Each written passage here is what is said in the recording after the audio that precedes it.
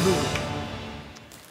נה נה נה נה נה נה נה נה נה נה נה נה נה עכשיו יגידו איפה השופר. לא הבאתי, היום היום לא הבאתי, שאלתי אותו לברדוגו. אחד הדברים שהכי אהבתי בילדות שלי זה היה כשהייתי בא לתוקע בבית הכנסת, תדע לך. בעל תוקע. יפה. כן, יש לנו, יש גם ספר שופריאדי יעקב. אם אני תוקע אף אחד לא יוצא ידי חובה. אני, חביבי, עד גיל 25-26 הייתי, גם בישיבה התיכונית, הייתי מוציא ידי גם. אני הייתי בישיבה תיכונית. אם היינו לא, קרובים- שלנו- לא, לא, אם שלנו היינו יותר טובה, אתה כמו מכבי תל אביב אם ומכבי היינו חיפה. קרובים לראש השנה. היינו מבקשים מברדוגו אין לעשות... בעיה. טוב, נועם סלע פה, ברדוגו פה, נשאר פה, אתה פה, אני. ניפרד ממך מחר. גם אה, השרה מירי רגב איתנו, עוד מעט אנחנו נהיה איתך, השרה. היא לא הצטרפה לשירת הנה נה נה נה. לא, למה הצטרפתי? היא- עוד בהסתדרות. אז, אה, הצטרפתי להסתדרות. התכוונת ל- מעט. אתה התכוונת להסתדרות הכחולה. כן, או, זה לזה מעניין, עוד מעט. אנחנו נדון בזה. בוא נדון בזה. הסיפור המרכזי, חברים, אנחנו יוצאים לדרך, אנחנו רוצים קודם כל אה, אה, להתעדכן במה שקורה. אתם יודעים מה? קודם כל בואו נראה מה מצפה לנו הערב, אחר כך נתעדכן מה קורה, סוריה, רוסיה, אזרחית, כל הדברים האלה.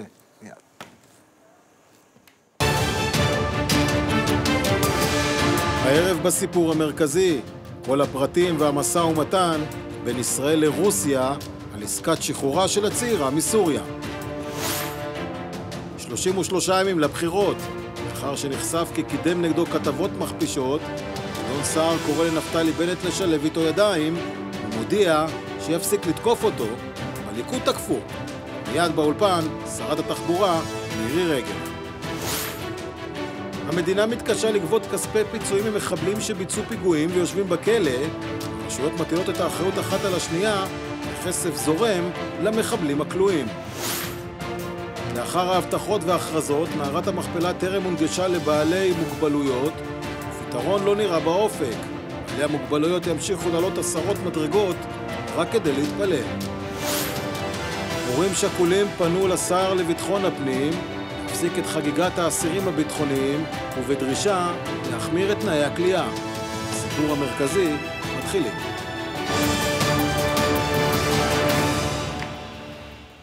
הסיפור המרכזי, יצאנו לדרך, שוב ערב טוב, אה, יעקב ברדוגו, ושוב ערב טוב גם אה, נועם סלע, והשרה מירי רגב שכאן. ערב טוב. פעמיים ערב טוב, זה שופר כפול, זה לא סתם... אה, טוב, אנחנו רוצים להתעדכן באמת מה קורה עם הסיפור ההומניטרי, הסיפור באמת ביטחוני, הומניטרי, הכל אפשר להגדיר. קובי פינקלר, פרשננו הצבאי, באולפנינו בתל אביב, ערב טוב. ערב אה, טוב אה, גם אה, לשלושתכם שם, גם אה, לשרה רגב כמובן, דוברת צה"ל בעבר, יודעת אה, הרבה מאוד אה, דברים. אז אה, קורה, מה שקורה כרגע זה מתרחש אה, בשדה הבינלאומי של מוסקבה. שם אה, מטוס אה, מנהלים אה, אזרחי ישראלי שיוצא למוסקבה כדי להחזיר את הצעירה הישראלית.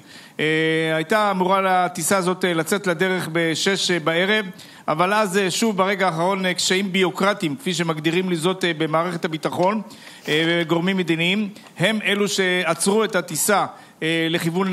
ומה שכן אפשר אה, לומר אה, הם אה, שלוש נקודות. ראשית, הסורים הבינו בהתחלה, וזה המסר גם שהם העבירו כל הזמן לרוסים, שמדובר בחיילת צה"ל או בסוכנת מוסד, שלא סתם נכנסה בתמימותה, אלא כך הסוותה את עצמה שהיא בהיריון, נכנסה לתוך שטח סוריה, דרך אחד המעברים, וכבר לשאלה הבאה, לא קשה לה- להיכנס לסוריה, מי שרוצה להיכנס יכול להיכנס, כיוון שכל הפנים של הצבא תמיד כלפי סוריה, מתוך סוריה לכיוון שטח ישראל, ולא להפך.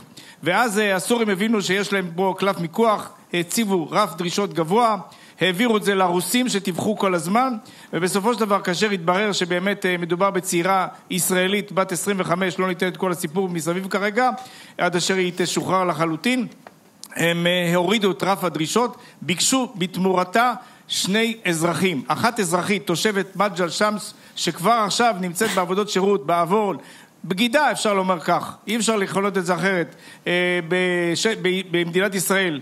ריגלה ושידחה ושידרה כל מיני מסרים אה, לחיזבאללה.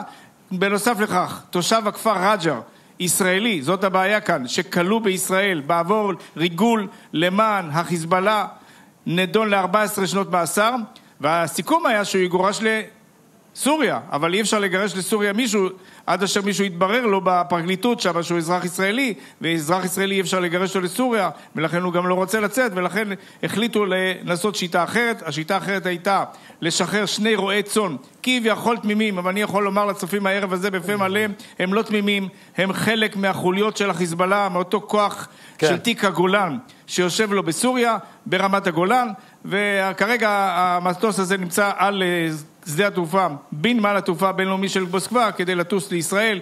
מתי זה יקרה? אני מניח שזה יקרה בזמן הקרוב. מן הסתם, קובי פינקלר, פרשננו הצבאי, תודה רבה לך שם אה, בתל אביב. ושוב ערב טוב, פעם שלישית לשרה מירי רגב, שרת טוב. התחבורה, ערב טוב. תגידו, קודם כל היית בהסתדרות, מה, אה, מתמודדת על תפקיד חדש, מה? הייתי בהסתדרות, כי ההסתדרות שינתה את פניה. זה כבר לא הפנקס האדום, היום יש שם את הפנקס הכחול. רוב יושבי ראש הוועדים הם ליכודניקים. גם ברשת זה פנחס עידן, אם זה בתעשייה האווירית זה יאיר כץ, אם זה בשלטון המקומי. אנחנו רואים יותר ויותר יושבי ראש ועדי עובדים. הליכוד, מאז בגין, שינה את כל ההתייחסות שלו לעובדים. זכויות העובדים תמיד היו בבסיס העבודה של הליכוד. זה לא איזו אוטוריטה שהשמאל, אנחנו- שהשמאל אה, אה, לקח עליה אה, בעלות. אנחנו אומרים, זכויות עובדים לצד שוק פתוח, תחרות במשק, כמובן ביטול רגולציות, אה, אה, יבוא מקביל, כל מה שאנחנו מובילים ומי שמוביל... איך זה מסתדר? אה, זה תורה שמובילים- כלכלית חדשה? זה מסתדר מצוין, ברדוגו, מסתדר מצוין, תראה מה אנחנו עושים. תראה איך ראש הממשלה פתח את כל המשק במשך עשר שנים, איך המשק הזה נראה, בהורדת חסמים, בשיווק מקביל, ביבוא מקביל, בכל מה שאנחנו עושים, מצד שני שומרים על זכויות העובדים. גם אתה עובד, גם אני עובדת, כולנו אני- עובדים, אני- כל אחד ברמה אני שלו. לא יודע, אני- ואני רוצה להגיד לך, ההסתדרות- שההסתדרות שינתה את פניה היום. ההסתדרות היא, בפירוש אמרתי, שלום לפנקס האדום, ברוכים הבאים לפנקס הכחול. אני לא, אני לא יודע, אני לא יודע, אני לא חבר ליכוד, לכן אני לא יכול להגיד לך אה, את מה שאת אה, כל כך אומרת, אבל אה, אני לא רואה את העניין הזה של הוועדים הגדולים, נכון, הם כוחות פועלים, אבל הם גם כוחות משתקים של המשק. כן, אה, אה, עם כל הכבוד לתוכנית העובדים של חברת החשמל, שמשה כחלון הביא לנו ואתם שלה, ושילמו עשרות מיליארדים. או הכוח הארגוני של עובדי הנמלים. אז uh, יש גם, אני- יש גם טעם, ספק. יש גם טעם לפגם בעניין הזה, ולבוא ולהגיד, תראי, ש- אני התחנכתי uh, אצל uh, דוד לוי, הרבה מאוד שנים, הוא היה יושב ראש תכלת לבן בהסתדרות, אני מכיר את העולם הזה, אבל לבוא ולהגיד שהליכוד היה... אה, אה, תמיד הבית- שמר על זכויות העובדים. זכויות העובדים. יש הבדל. יש הבדל בין, יש בין יש הבדל בין. הארגון, בין נכון? הארגון המסואב הזה, ולכן בין אני הארגון המסואב מדברת, הזה שקוראים לו הסתדרות. נכון, ולכן אני מדברת על זכויות שקלים. עובדים. כן. אז רגע, אבל ולכן אני מדברת לא על זכויות פנקס עובדים. אדום, ולא פנקס אדום, ולא פנקס אבל איך כחול, התקבלת מאות? מיליונים יש? שם. איך התקבלת בביקור? תראה, בסופו של דבר באתי לישיבת עבודה מקצועית בעניין נהגי האוטובוסים. יש כרגע, יש בתקופה האחרונה אלימות כלפי נהגי האוטובוסים. אני מצפה שכל ועדי העובדים, יחד איתנו, נפעל לאפס... יש אפס סובלנות כלפי אלימות, כלפי נהגי האוטובוסים. זה לא רק זה, צריך לטפל במעמד נהג האוטובוס. נהג אוטובוס שנוסע שעות על הכביש, אין לו לפעמים מקום כדי, סליחה, לתת אה, צרכיו. אין לו, לא, לא מתייחסים אליו אה, בצורה אה, הוגנת. ולכן הלכתי כדי לראות איך אנחנו קודם כל פועלים כדי לשמור על, מעמד, לשמור על מעמדו של נהג אה, אה, האוטובוס, ואיך אנחנו שומרים על ביטחונו.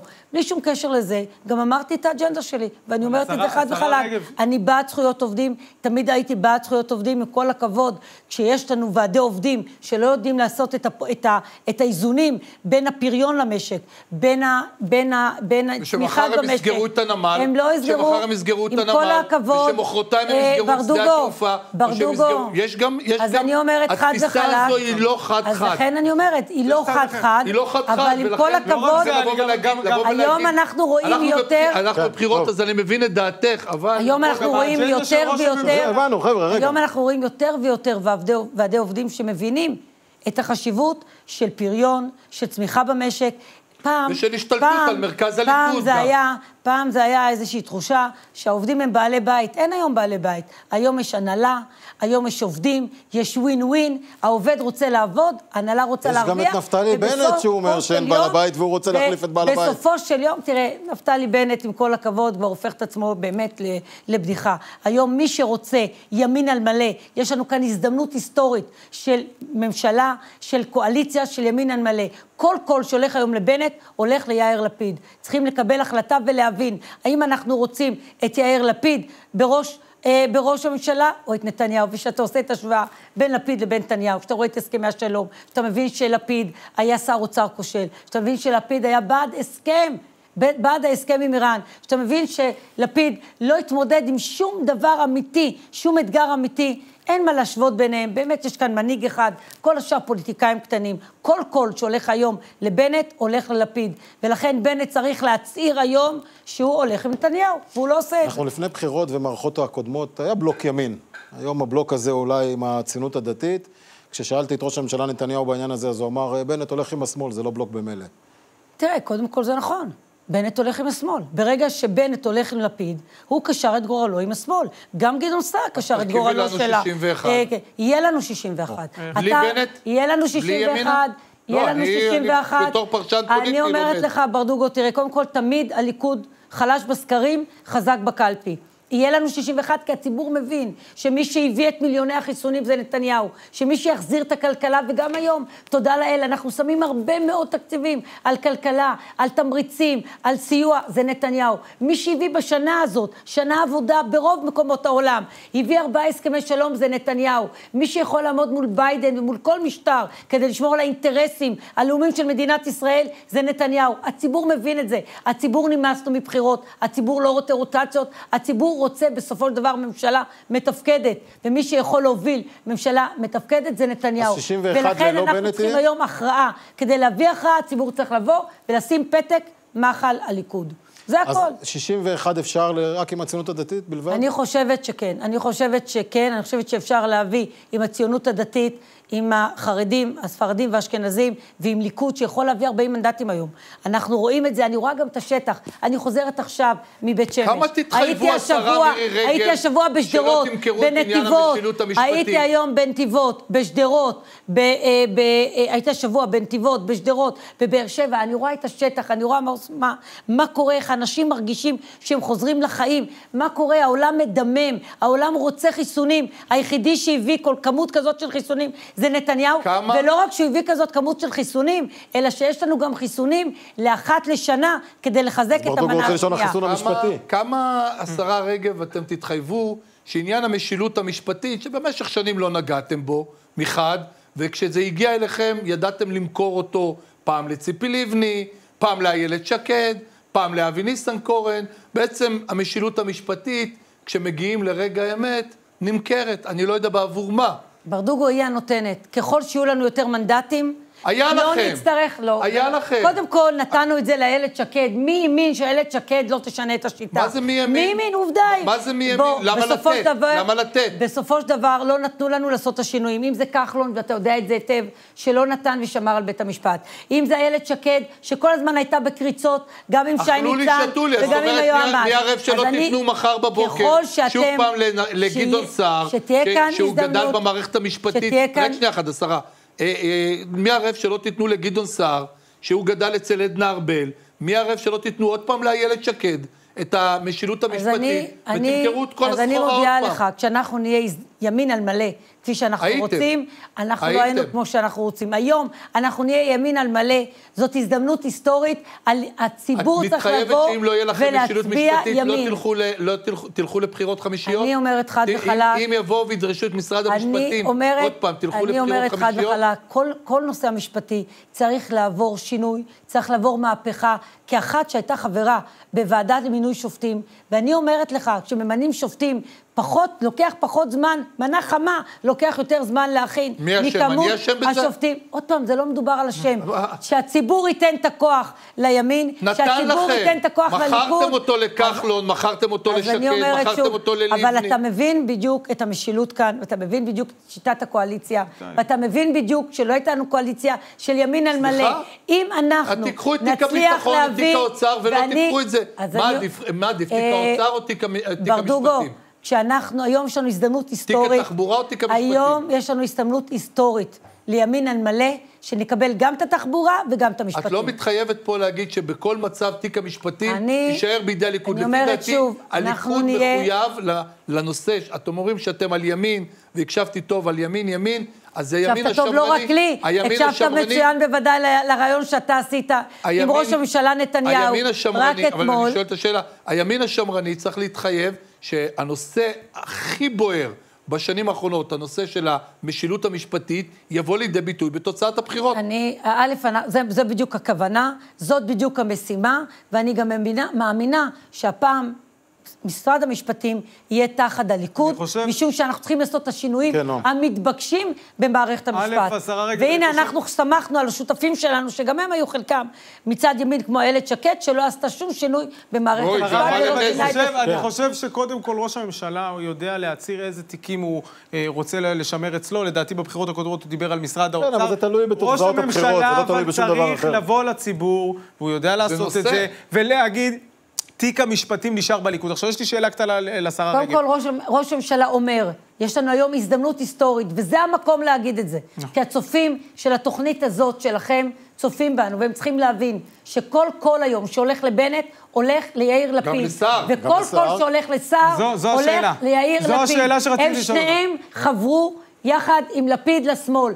מי רגב. שרוצה ימין על מלא, צריך להצביע ליכוד. נקודה. השרה רגב, את מכירה את גדעון סער המון שנים ומכירה אותו טוב. ואני באמת שואל, הרי הוא היה חלק, מ- בשר מבשרה של תנועת הליכוד, לפתע רק, והשיח השתנה מקצה לקצה פתאום נגד ראש הממשלה, נגד הליכוד, כל הלכלוכים והטינוף, אפילו אגב, לא לפתע, זה היה מדורג. אתה, ו- אתה לא מדייק. כן. לא- אה, גדעון סער עשה ריצת אמוק אל תוך אה, השמאל, אני אומר את זה כפרשן פוליטי, הוא השיג את ציפי לבני, השיג את אהוד אולמרט, בעצם המפלגה שלו, מפלגת הפליטים הזו, מפלגת ה... אולפנים, אני. קוראת לה מפלגת האולפנים. האופורטוניסטיות. ה- ה- אלקין הזה, שהוא מעבר לאופורטוניסט. ששבוע לפני זה כאן פרגן לנתניהו. מה זה פרגן? רק הוא וגדעון גם סער גדעון לא סער פרגן פה, באותו לנתניהו. אולפן, באותו ישר פוזיציה. ופרגן לנתניהו. אני שואל, אבל אבל- הם הביאו לנו. את- קמפיין השנאה של אה, לינקולן, על זה צריך לדבר. השאלה. שאני רוצה לשאול את השרה, אה, במידה וגדעון באמת לא ישיג את התוצאה ויישאר על חד ספרתי וזה, האם יום אחרי הבחירות את רואה סיכוי שהמפלגה שלו, כולל אלקין ואחרים שאת מכירה היטב, יבואו ויצטרפו לממשלת המחנה הלאומי? אני אומרת שוב, אני רואה ימין על מלא. יש כאן הזדמנות היסטורית להביא ממשלה ולהביא קואליציה של ימין על מלא.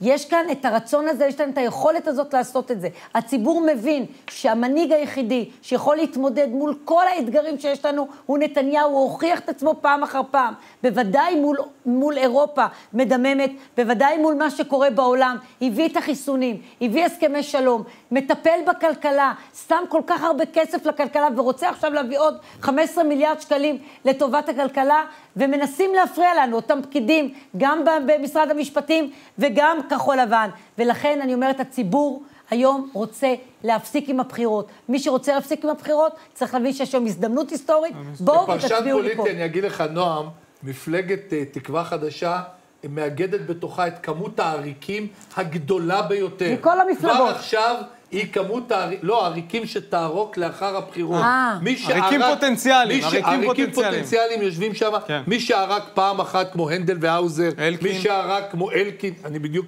מונה אותם, מתחבר כמו מיכל שיר, כן. ו- אה, אה, קבוצת העריקים הגדולה ביותר נמצאת אצל גדעון סער, וקבוצת העריקים הזו, איך אומרים, מחכה כבר עכשיו להזדמנות לברוח משם. זה- אומר את זה כפרשן פוליטי. ומשם מקפצה גדולה יותר לקבל תפקיד. אלקין, אה, בלי כיסא עור הצבי, איך אומרים, כמעט בלי קיום. הנדל והאוזר, כשטעמו, אותו אלקין? אגב, שניסה מזלו אצל בנט. אצל ימינה, אני כן, רוצה לשאול נכון. אותך, השרה, זו מציאות שהיא בלתי נסבלת כמובן, שאנחנו לא. יכולים... היא גם דוחה, היא גם מכוערת, זה גם אנשים שהבטיחו שלא לא יעזבו את. הליכוד ויקבלו את רצון הבוחר בליכוד. מה שהם עשו זה מציאות מכוערת. בפריימריז, נדגיש. כן, ובסופו של דבר צריך להגיד את האמת, רגב. נתניהו ניצח את, אה, את אה, גדעון סער, הביס אותו, ובגדול, ובסופו של לא יום הוא לא. קיבל, הוא לא קיבל, זה ממש לא כוחות. לא, אבל הוא היה בטוח שזה כוחות, דרך. אגב, אני כן, רוצה גדעון להגיד לך... סער היה בטוח שהוא מנצח. אה, יום לפני הוא אמר שיש לו הראש בקיר, 47 בדיוק. אחוז. ברדוגו. אני רוצה להגיד לך שאף אחד מהמתמודדים זה לא כוחות מול נתניהו. אני רוצה לשאול אותך, השרה רגב. חברים, השרה. הזכרת את החיסונים כאן. אנחנו רואים כבר את האור בקצה המנהרה, בטח לפני כל מדינות העולם. איך ייפתחו השמיים, זה דבר שמאוד אה, מעניין את הציבור. כן, קודם כל אני חייבת להגיד ששבוע הבא אנחנו מתחילים לפתוח יותר ויותר ענפים למחוסנים ולמתחסנים. אנחנו לקחנו כאן באמת אחריות מאוד מאוד גדולה, אבל זאת אחת, הסיב... אחת לא הסיבות סיכון, היא זה לא לעודד סיכון גדול מדי. אחריות. לא, אני חושבת שעשינו את זה בזהירות. עשינו את זה בזהירות, עשינו את זה רק למתחסנים ולמחלימים, מתוך כוונה לעודד אנשים בני 50 פלוס, לכו ותתחסנו. כל עוד הם לא מתחסנים, אנחנו לא יכולים לחזור לחיים שאנחנו כל כך מתגעגעים אליהם. ברגע שהם ילכו ויתחסנו, ויהיו כאן בין חמ- חמש, חמש וחצי מיליון איש שכבר... עשו את המנה השנייה, התחסנו במנה השנייה, אנחנו יכולים לחזור לחיים. תבינו, אנחנו יכולים, השרה? אנחנו יכולים לחזור לארוחת? פסח עם המשפחה, כפי שאמר ראש הממשלה נתניהו לפני. מספר שבועות. ולכן, כדי שזה יקרה, אנחנו באמת קוראים לציבור, לכו ותתחסנו. עכשיו, אני אומרת לך שעניין של מכוני הכושר עודד הרבה מאוד צעירים ללכת ולהתחסן. למה? כי הם רוצים לחזור לחדרי גם הכושר. אני, אבל כבר הייתי מחוסן. גם כמובן, אני לא וגם. כמובן, אירועי התרבות. וזה מה מתגעגעת? לא, אבל אני שחשוב. רוצה באמת לסיום. תתחסנו כדי שנחזור לסיום, לחיים לסיום כמה אני שיותר רוצה מהר. במשפט אחד, השרה, לשאול אותך, מי שנכנס למשרד התחבורה, ככה הוא אומר, מתאהב בתפקיד. ואת? רוצה להמשיך שם? קודם כל, אני אוהבת את מה שאני עושה. זה משרד מאתגר, אני גם מקבלת החלטות חשובות ברמת תשתיות, ברמת התעופה, ברמת הים. בסופו של דבר, מי, הזה, מי יהיה באיזה תפקיד, קובע ראש הממשלה. מה שעכשיו חשוב זה לא מי יהיה באיזה תפקיד, מה שחשוב עכשיו זה להביא את 40 מנדטים לליכוד בעזרת השם, להביא ממשלה ימין על מלא, כדי שנוכל להמשיך ולעשות את אותם אתגרים שעומדים בפנינו, כשבראש כל המערכת הזאת עומד ראש הממשלה שרת התחבורה. מירי רגב, שבת נפלאה שתהיה לך, ורק בשורות טובות. לכם, תודה רבה לך. טובות. אנחנו עם הפסקה קצרה ומיד אה, חוזרים. מיד.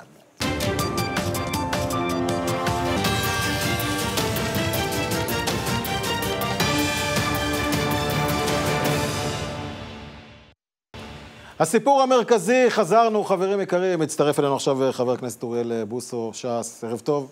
ערב טוב לך ולצופים ולמאזינים. אז אתה כמעט אה, שבת שלום, אבל אני רוצה אה, לשאול אותך, אני לא יודע אם ראית את הוויכוח הזה שהיה אתמול, שלשום, בין יהדות התורה לבין אה, הציונות הדתית, רבים על מנדטים, זה נכנס בקמפיין של זה, זה נכנס בקמפיין של זה, ואני שאלתי את אחד המרואיינים שהיו אצלי בעניין הזה, שאלתי אותו, תגיד, המפלגות החרדיות, הדתיות, כל הזמן רבים על כיסאות מנדטים, השבת לא מעניינת, הגיור לא מעניין. כל הנושא ההלכה בכלל, אתה לא, שומע, אתה, אתה לא שומע בשום קמפיין את הנושאים החשובים האלה של נישואים אזרחיים, או זה שרוצים לפגוע עכשיו בגיור, כל הנושא הכותלים הרפורמיים, כל הדברים, הדברים המהותיים שמחזיקים אותנו במדינה, אף אחד לא מדבר. בשביל מה אולי לא צריך מפלגות דתיות? אני, אני שמח ששאלת, אבל אתה יודע מה, בועז, אם אה, ראית את הסרטון שאתמול יצא מבית מדרשה של קמפיין ש"ס, אה, ולא בפעם הראשונה, שוב סרטון שמחזיר לנו את המורשת, את הערכים. אה, הקמפיין של ש"ס זה ישראל בחר בהשם, כי בסופו של יום דווקא מהנקודות הקשות שמדינת ישראל ועם ישראל נמצא בקורונה, אה, גם בצד הכלכלי, בצד החברתי, אנחנו נמצאים בצד המאחד, אנחנו לא רבים עם אף אחד, אבל אנחנו צריכים להזכיר להם, לכולם. אה, אני כיושב ראש מטה הצעירים הוצאתי סרטון לכל הצעירים. אה, אתה רוצה את ביבי ואתה רוצה אה, מדינה יהודית, אבל לצד ביבי צריך מסורת וערכים, לצד הדמוקרטיה צריך לשמור על הדברים. לפני שלושה, ארבעה ימים, כמה ימים, ששר המשפטים, שאני לא יודע כמה שרים הוא כבר מוגדר, בני גנץ, הוציא איזה ספין בנושא הנישואים אזרחיים. הוא מזלזל באינטליגנציה של אזרחי מדינת ישראל. אף, כולם יודעים שזה לא ישים בעת הזו, אבל לזרוק משהו, אה, אם הוא חושב לג- לגרד את אחוז החסימה מאותם ממזרים שהוא רוצה להכשיר אותם, הוא יתבלבל. אז אבל אולי אנחנו, נחדד אנחנו. נמצאים שם בשביל זה. אבל אם נהיה מפלגה משפיעה וגדולה, בעזרת השם, בממשלת ימין מלא, בראשותו של בנימין נתניהו, אז אנחנו באמת נוכל להוביל את המדינה למדינה יהודית ולשמור על הערכים. אז אני אחדד את מה שאני רוצה לשאול. אנחנו, ליברמן, אנחנו שומעים אותו אומר אה, ב, אני יודע, בבחירות האחרונות, כי לא תמיד הוא אומר את הדברים האלה, בבחירות האחרונות, תמיד, אני עם תמיד. חרדים לא יושב, תמיד, אגב. מסית נגד חרדים, לא, אבל היה ש- שנים רבות שליקק לציבור החרדי, והציבור החרדי, ונעזר מאוד בחרדים כדי להתקדם, עד שזה ירושלים. פתאום מבין שזה כן, מביא מנדטים, עד לבחירות באמת האחרונות בעיריית ירושלים. אבל הוא, אומר, הוא בא, נכנס לבחירות, אומר, אני עם חרדים לא יושב. השאלה... קודם כל, תשאל את השאלה, רגע, רגע, החרדים, השאלה, רוצים- השאלה אם ש"ס לא יכולה לבוא ולהגיד, אני, אם נוגעים לנו בשבת, ואם נוגעים בזה, אנחנו לא נכנסים. זה ברור לך, זה בכלל ספק. קודם כל... אבל אני רואה שנוגעים בלי סוף בכל דבר. אומר, אם החרדים אני לא יושב, הוא צריך לשלוט, החרדים בכלל ירצו לשבת איתו. לנו יש קווי יסוד לא ברורים. עזבתם את הממשלה עם התחבורה הציבורית בשבת שנפתחה ברשויות בתל אביב, ברמת גן, לא עשיתם? על זה אבל חוק. המרכולים, כששר הפנים הרב אריה דרעי נמצא, וחוק, כשרצו לפרוץ עכשיו, גם ככחול לבן בתקופה הזאת, לבטל את חוק המרכולים, החוק המרכולים נמצא, וכשהנושא נתונו לידיו שר הפנים, בשביל זה אנחנו צריכים ששר הפנים ימשיך להיות הרב אריה דרעי, עם, ה- עם, ה- עם ההחלטות החשובות, ובאמת תחבורה ציבורית, באופן, במרחב הציבורי, באופן חוקי, אני- לא אני נפתח. האמת שרק ש"ס נאבקת על הדברים אני האלה, כן. רוצה לשאול אותך, מעבר לדומיננטיות שבעבר, דרך אגב, הצד האשכנזי היה הצד המוביל ב- בצד הזה, היותר מיליטנטי, היותר אה, משפיע, אבל אני- אני רוצה לשאול אותך על משהו שכן קורה ב, ב, בציבור החרדי. אני שומע שהרב גפני ואנשים ב, ב, בדגל התורה מדברים עם גדעון סער, גדעון סער מתדרך שיש להם שם מהלכים כאלה ואחרים. אומרים שהם גם לא פוסלים. אה, לא פוסלים. אנחנו רואים גם כן פתאום איזושהי סוג של הבנה שלפיד איכשהו, מה שנקרא, מעמעם. את, ה, את המהלכים אה, נגד החרדים.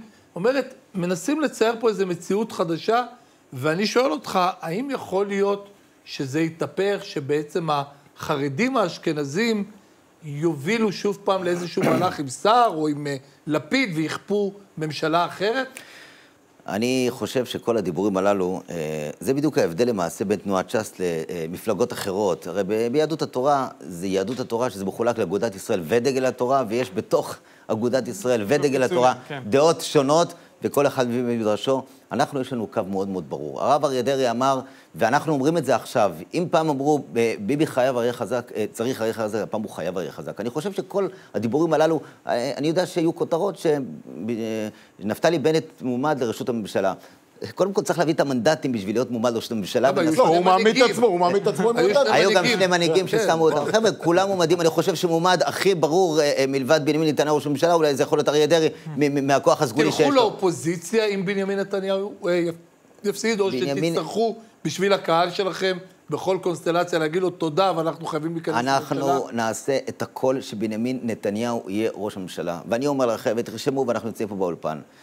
ראש הממשלה הבא זה יהיה בנימין נתניהו. ראש לא, הממשלה. לא לא הוא גם, אני, אתה יודע מה, הוא גם בועז, מספיק מתוחכם לא לחתום. אני. יודע, אני יודע. הרב, הרב, אה, אוי ואבוי בוסו, למי שחותם באולפנים, אבל בוסו, בנימין נתניהו יהיה. ראש הממשלה, ואנחנו עובדים קשה. א', להגדיל את הכוח של תנועת ש"ס ולהביא לעם... כמה תהיו? היושב בשדות.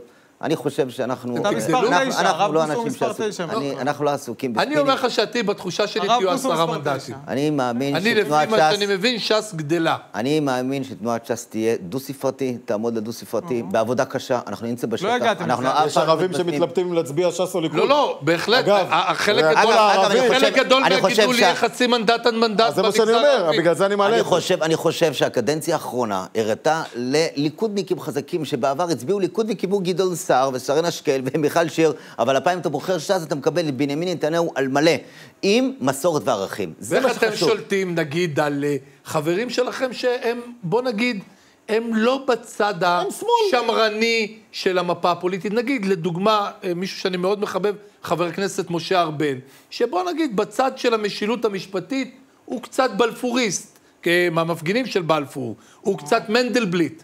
הוא קצת הרבה מנדלבליט. אה, איך, איך, איך, איך תגדירו את זה? את מפלגת ה- גרון. בוא נגיד, השבוע, שבוע בוועדת הבחירות, הוא לא הצביע. הוא נתן לאחרים להצביע על, ה, על הפסילה כן. של... זאת אומרת, לא נכון. לא, לא, לא, הוא לא תנועת ש"ס הצביע. תנועת ש"ס הצביעה כן, בעד... הוא עצמו לא. לא הצביע, נתן, הוא נש- נשאר בחדר ונתן לממלאת מקומו להצביע, שידו לא תהיה במעל הזה.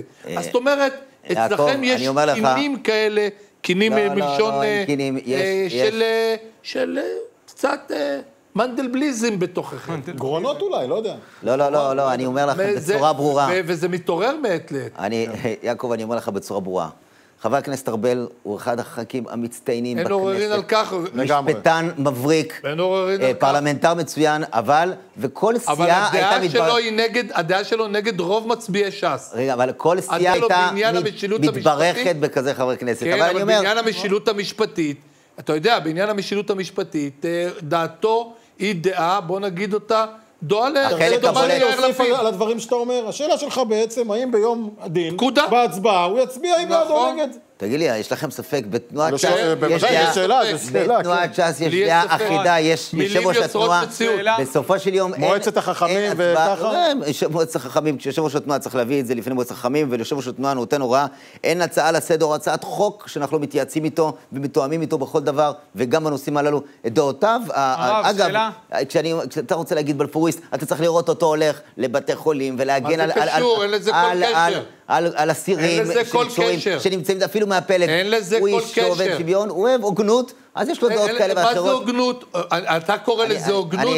רגע, זאת אומרת. זאת אומרת, רגע, זה. אומר שאתה לא הוגן? ת- לא, לא, כשאתה אותו. אומר הוא אוהב הוגנות, אז האחרים לא כשהוא הוגנים. התבטא- כשהוא התבטא במקומות מסוימים, כשדיברו נגד עולה שרי ממשלה. לדוכן ומדבר בשם... אני לא נמצא פה, אני לא לייצג את חבר הכנסת למה? ארבל. אתה אומר לך, ש"סניק. אבל אני אומר לך, לא נמצא פה לייצג אותו אישית, אומר לך, הוא מבורך, הוא ראוי, ודעותיו גם... שאלה קטנה, אני, אני, קודם כל אני מכיר את הרב אישית, ובאמת אה, אה, נכס, אה, ככה לא אומרים שבחו של אדם בפניו, אבל אה, נפרגן לו נכס לתנועת ש"ס. הרב בוסו. הרב בוסו.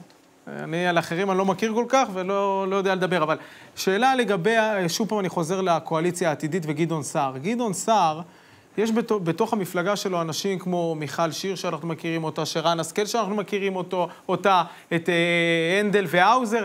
הם אה, מדברים לא מעט על נושא של נישואים אזרחיים, תחבורה ציבורית בשבת. גדעון סער בעצמו דיבר על זה.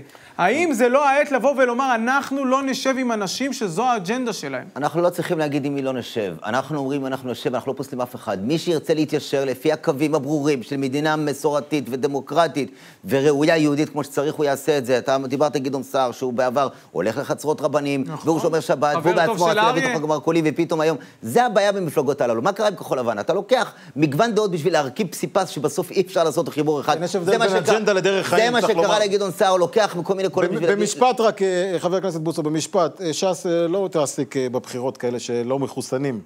אני קורא לכל. המפלגות, אני, תשמע, רק מחוסנים. אני חושב שאם היה איזה רב קם ואומר, מבחינתי שלא יתחסנו, כולם יוצאים עליו, וכשיש בישראל ביתנו חבר כנסת שמדבר בריש גלי נגד החיסונים, נכון. וראשי המפלגה שלו, חוץ מזה שמפרים הנחיות, אף אחד לא מדבר נגד זה. יושב ראש התנועה, ואני למה, קורא אני שומע לכל את יעקב המפלגות הרבה להגיד את זה. יושב ראש התנועה בא ואמר, אצלי לא ישבו בקלפיות אה, 8,000 עובדי קלפיות שלא יתחסנו או לא מחלימים. בשביל לא לפגוע באחרים, לא לסכן, זה הדבר הכי ראוי, שלא יהיה מצב שבן אדם יפחד להגיע להצבעה.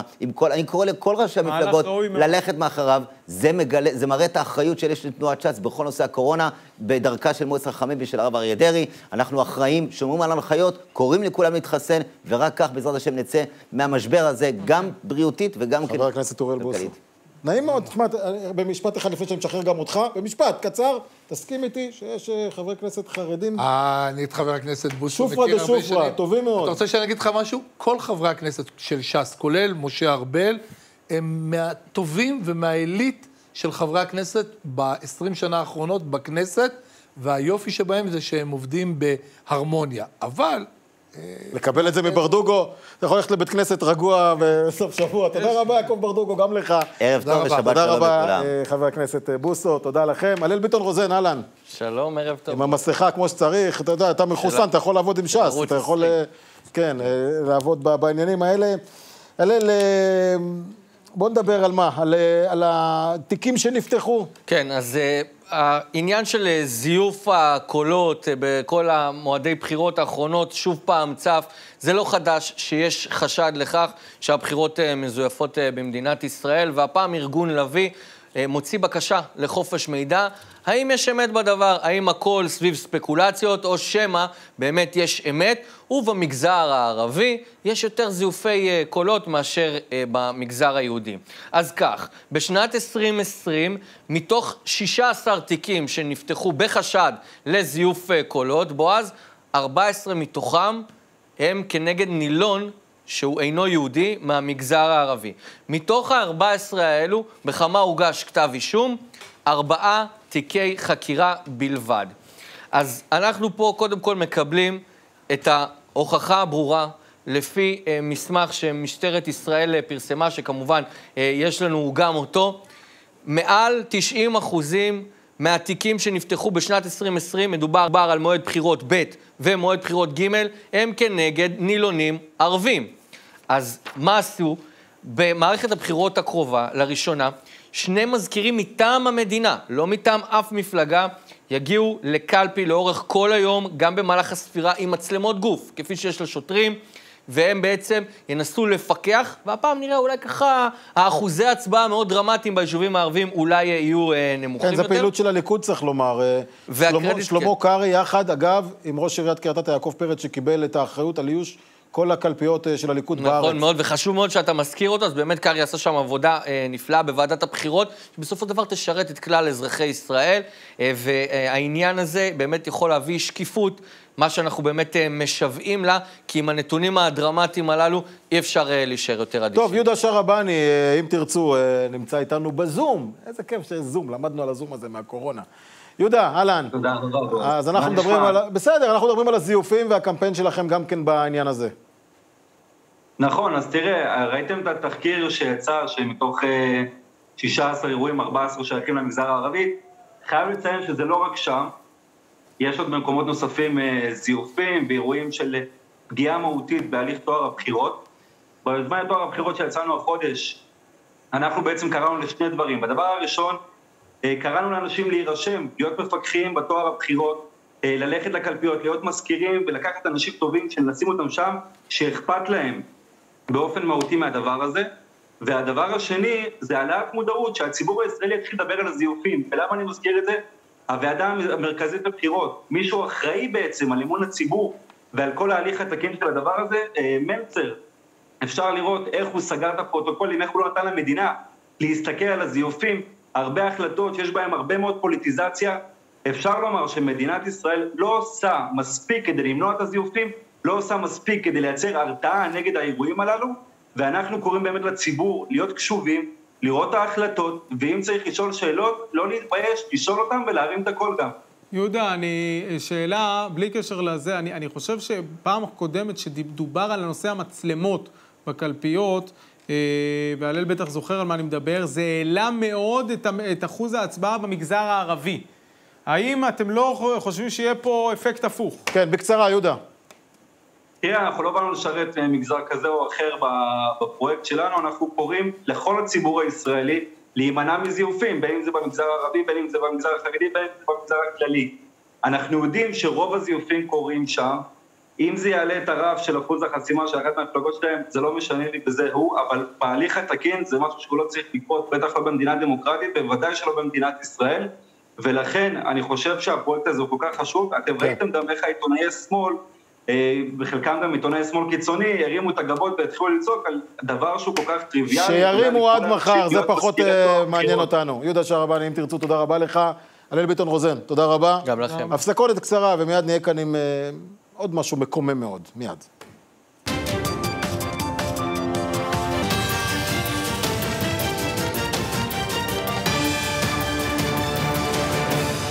הסיפור המרכזי, כאן ערוץ 20, אה, חזרנו, הרצל אה, חג'אג', אביה של שיר, זכרה לברכה. ערב טוב לך.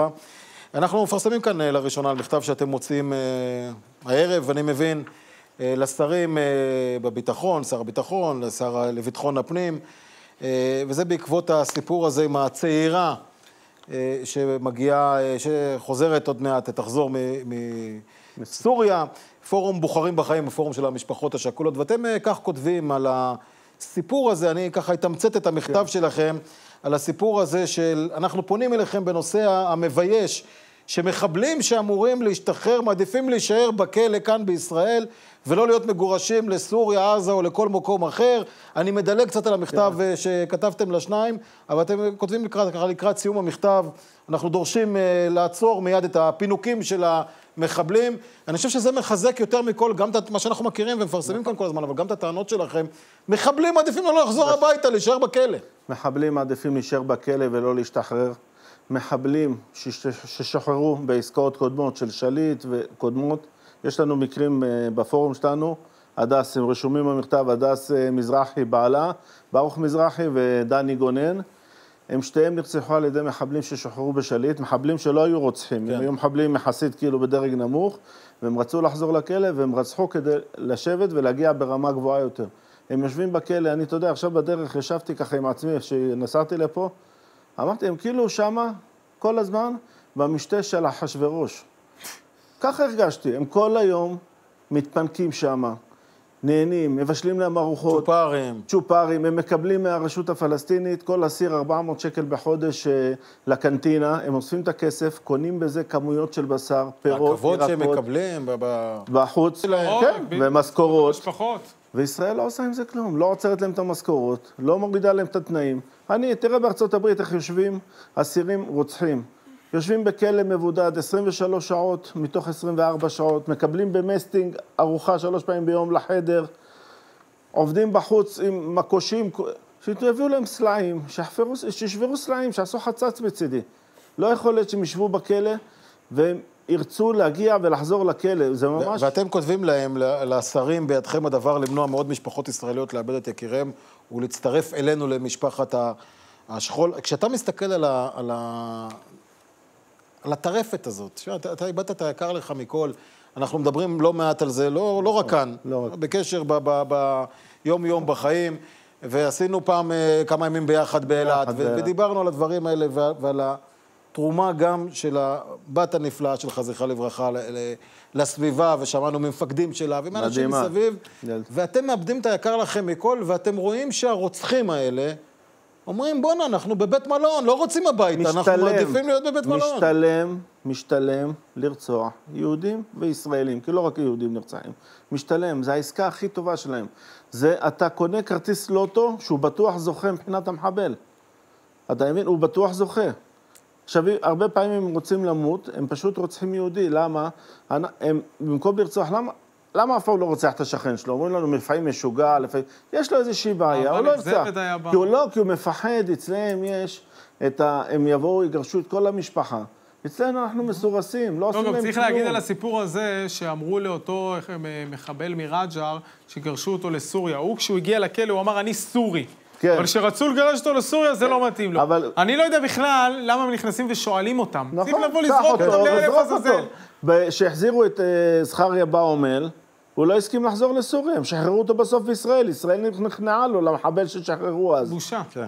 הרצל חג'אג', אביה של שיר, אני מאוד מודה לך שהגעת לכאן, המכתב הזה בהחלט מכתב אה, חשוב, ואנחנו ניקח אחר כך תגובות של השרים, לראות מה עושים עם זה. מבני גנץ, אני חייב לומר ברמה אישית, לא מצפה לשום תגובה בעניין הזה. השר אוחנה, אנחנו יודעים שמנסה ועושה. השר אוחנה כן, מאוד דוחף. יש פה מערכת משפט שיושבת על הראש, אולי היה צריך לשלוח את המכתב הזה לאסתר חנות. ראינו את זה עם החיסונים. ראינו עם החיסונים אז. מה עשו לו שהוא רצה לעשות, לא לתת חיסונים למחבלים קודם. בדיוק. טוב, אה, תודה רבה לך. אה, אנחנו רוצים עכשיו אה, פרסום כאן נוסף, פרסום שלנו כאן בסיפור המרכזי. על אה, מכתב שמוציא גם כן לבני גנץ, שר הביטחון. הוא השר להרבה דברים, אבל גם שר הביטחון איתמר בן גביר, שדורש בשם אה, מתפללי מערת המכפלה לקדם לאלתר. תראו לנו את המכתב הזה של בן גביר על המסך.